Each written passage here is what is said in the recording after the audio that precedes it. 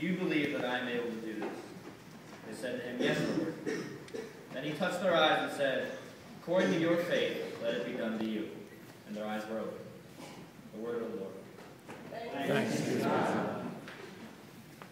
I have a really, really bad stomach. And I'm also a runner. These two things do not go hand in hand. During one very difficult practice out on the course this fall, we were doing two mile sets at an extremely uncomfortable pace.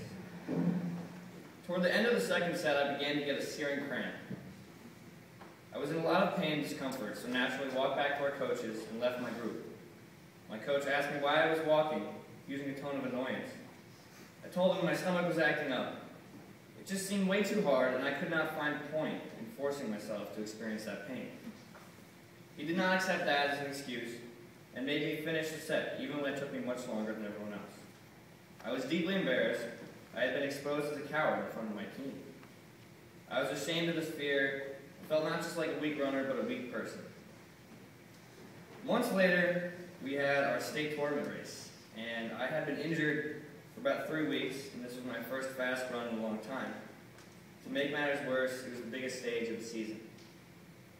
I tried not to get nervous, but the fear two minutes into the race, after running through a gauntlet of loud fans, I collapsed.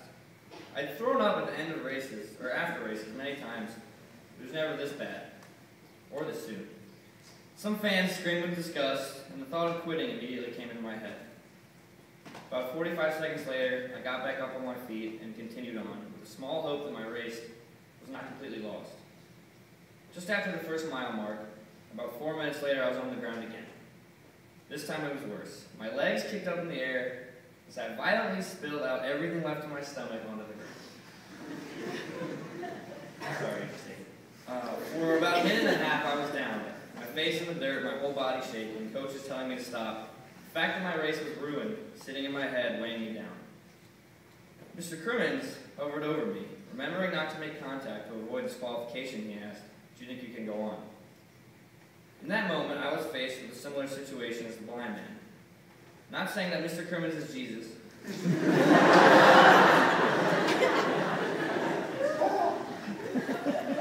but he gave me a similar choice, to go on or to stop. My body was screaming at me to put it out of its misery. Giving up would not only have been easy, but smart. First, I assumed I would drop out, give up. It would be insane to continue, almost unfair, and it did not even cross my mind to keep going. Then I breathed, and I saw a point in putting myself through this pain. I thought about how my chances to prove myself as a runner were gone, but I still had a chance to prove myself as a person. I remembered the disappointment of that practice months ago, and I thought about how ridiculous I looked in my leg sleeves and headband covered in leaves and vomit. I had to believe in myself. Mr. Crimmins was giving me a choice, to believe or to give up on myself. And it was truly my choice to make. It took a lot, but eventually I heaved myself off the ground wiped my face off, and left Mr. Crimmins in the dust. With dirt, leaves, spit, vomit covering my face, I finished the race. My time ended up being the worst of the season, but I was just as proud of that race as I am of my fastest one. It was one of the hardest things I've ever had to do, choosing to let go of that intense fear and disbelief. The result was pretty cool. It's something that lasted with me. In that moment, I proved to myself that I was better than that day of practice when I gave into that fear. When Jesus asks the blind man if he believes that he can be cured, and he replies yes, Jesus tells him that he is already saved. It was according to his faith that he is saved. Faith is the key here. This blind man is experiencing deep pain and deep, deep pain and fear. Jesus gives him a choice. If we believe in Jesus and what he stands for, we can become what he stood for.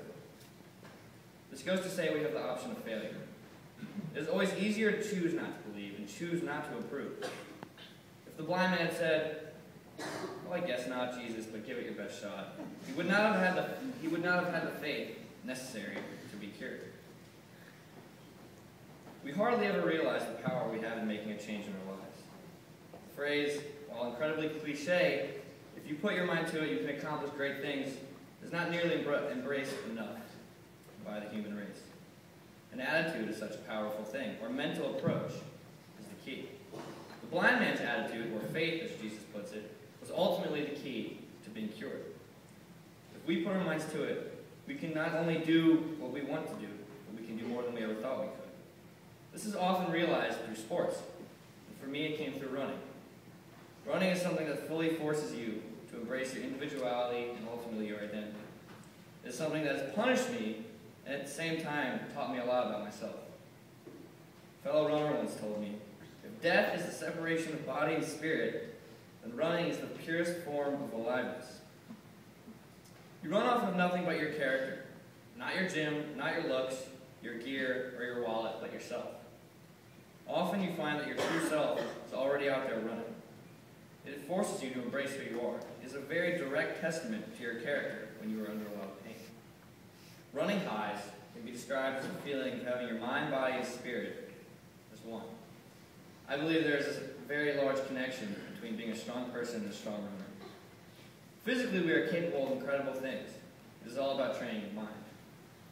As Mr. DeSalvo and Ms. Thalen discussed earlier in the year, there is a deep connection between suffering and joy. It is in the times of most uncomfortability that we learn the most about ourselves and our faith is tested. Failure shapes a good attitude. The times when we are faced with walls we do not think we can break down, that our characters are revealed, and we learn what we are made of. Teddy Roosevelt said, if he fails, he fails while daring greatly, so that his place shall never be with those cold and timid souls who know neither victory nor defeat. People without challenges in their lives, whether they be social, athletic, academic, anything, may not have to go through failure, but never experience the ultimate confidence and realization that is gained from it. So challenge yourself and believe. If you tell yourself you're going to have a good class or a great practice, you will. The point here is that we can decide to believe, and we can also decide to fail. The blind man chose to be cured. He maintained faith despite despair, and for this he was rewarded. We can choose to believe in Jesus just as the blind man did, and in ourselves, and the things Jesus stood for and the things we desire can come into our lives. So the question is not whether God can bring self-fulfillment, peace, and success to our lives, but if we can. And we can. It is up to us to decide.